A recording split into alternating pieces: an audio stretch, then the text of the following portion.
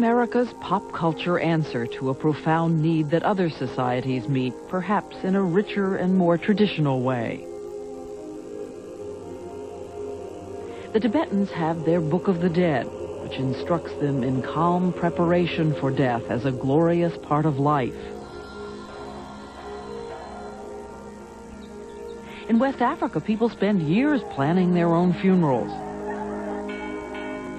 In Mexico, there's the Day of the Dead, party to share life's joyous moments with the departed.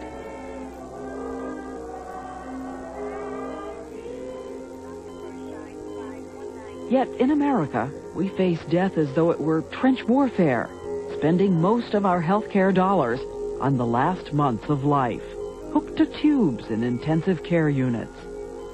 I was observing, I was.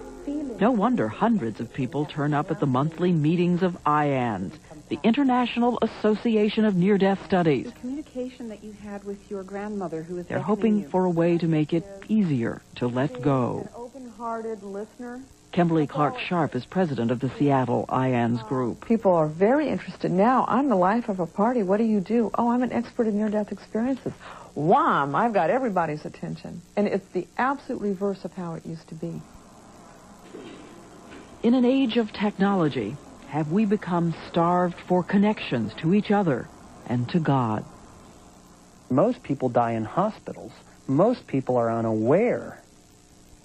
They're completely unaware of what it's like to die. And so, of course, they're unaware that the process of dying is very joyous and spiritual. floating around and just happy. This is information that people are now craving. Were you gone for just a minute? That's why I'm saying that near-death experiences are a cultural icebreaker. I wanted to stay in the light.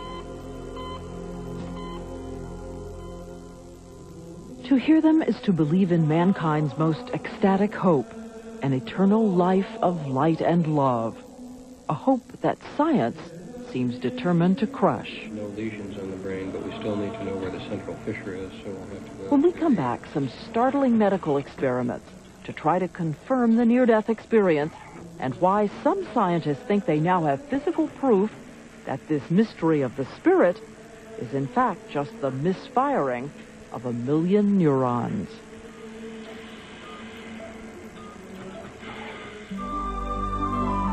Turning Point, Life After Death, Personal Experiences, will continue in a moment. One doubts that the witnesses of the near-death experience believe what they say, that they have somehow seen a glimpse of a spiritual comfort from beyond. It's just that most scientists think that comfort comes from nature itself.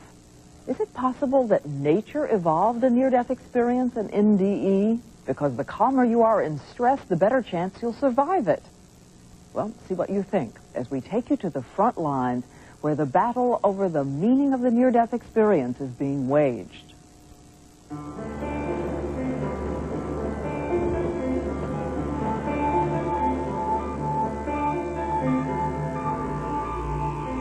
The next thing I remember is being in the room but above my bed. Looking down, not looking up. I had the greatest vantage point. I felt very much more free. You're just floating on air. You're, you're, you're kind of floating and you're just kind of floating and everything's peaceful and you do see other people. Madeleine Lawrence, PhD and Director of Nursing Education. Describe a little bit more, like the form. Did they have clothes? What age, sex? Um, Could you tell any of that? No, I really couldn't because Could she be the first person to prove the existence of a human soul? it was like seeing a ghost, if you will, which everybody had kind of like veils, like Mary, if you will. I know it sounds corny, but just had like veils. She is one of the new breed of scientifically trained near-death detectives. How are you? Good, good. Listen, I'm still I'm trying to find patients for my study for the unconscious patients. Here at Hartford Hospital, she is taking notes from nearly every patient who becomes unconscious. Okay. As though I was suspended. Okay. Did you And feel I'm like? Gonna, I'm going to travel. Oh, all right. So you felt like you were going to be moving. Yes. Is there evidence here in the hospital's electrophysiology lab where cardiac tests are performed? Refractory 200. Sometimes when people with diseased hearts undergo routine diagnostic testing here, their hearts stop and need to be restarted. Okay, let's. It is here, Lawrence reasons, someone might have a near-death experience. Are you having discomfort? Betty Harrigal, age 66, needed these diagnostic tests on her diseased heart. Well, a certain percentage of the patients will become unconscious. And what we're interested in is what happens to them when they're unconscious. Betty, I want you to count for me, okay? Okay. Count for me. Start at one. Oh. Betty. Okay. Betty. She's out. She's out. 200. 200. Go ahead. 200. All right, off. Betty. I'm, I don't have anything here. Betty. I don't have anything. Oh, okay. There you go. You go, Betty. It's okay, Betty. Betty. Betty. Betty's heart stopped for 23 seconds. It's okay. You passed out. Later, Betty remembers nothing. But Lawrence's preliminary data indicate that about 23% of the patients who become unconscious do have some of those paranormal near-death experiences. Some of them will report having out-of-body experiences.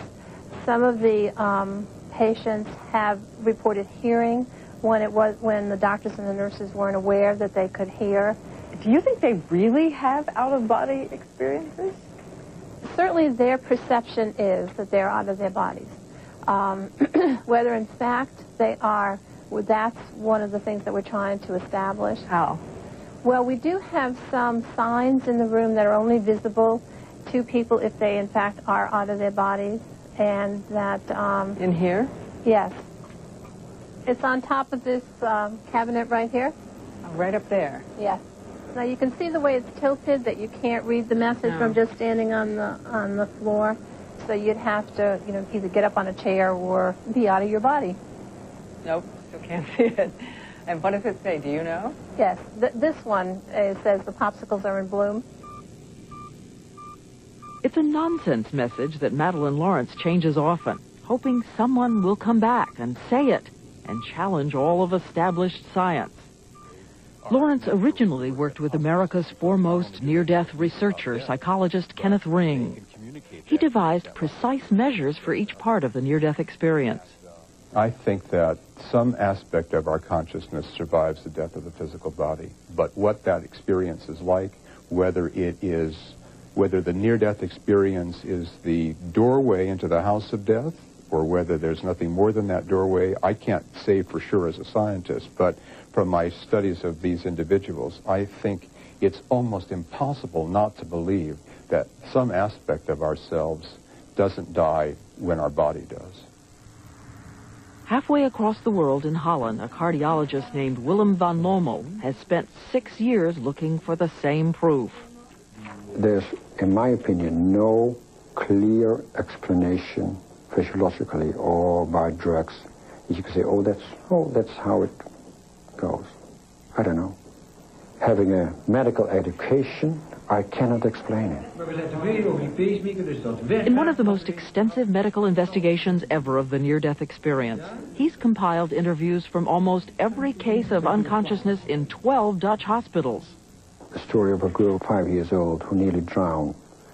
And when she came by, she said, it, uh, it was no, no problem. I had my brother there.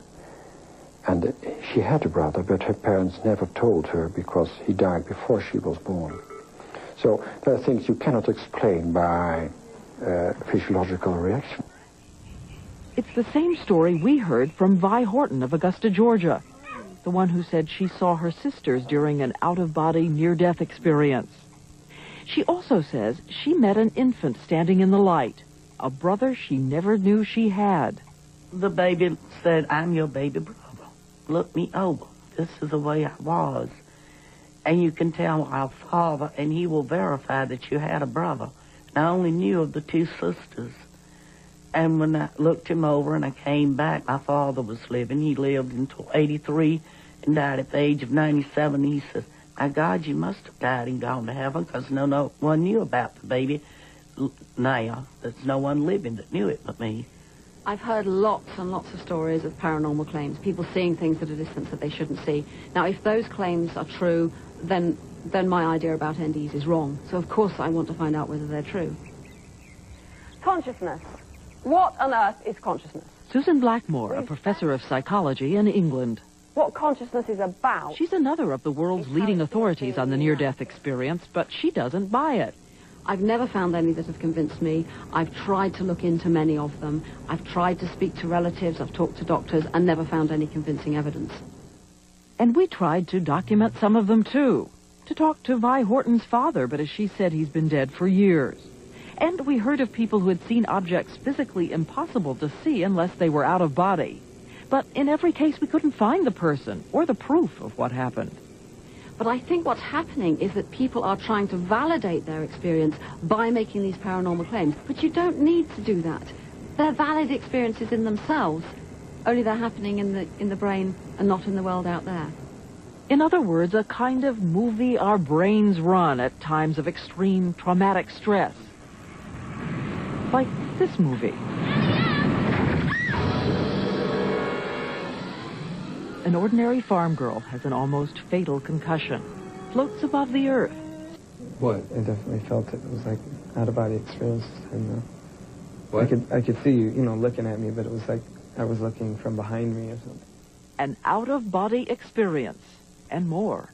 It felt like I was inside, like inside my mind, looking out through the eyes. You know, like two little holes that you know, two little portholes or something that I was looking at. Seeing through portholes, tunnel vision. Sound familiar?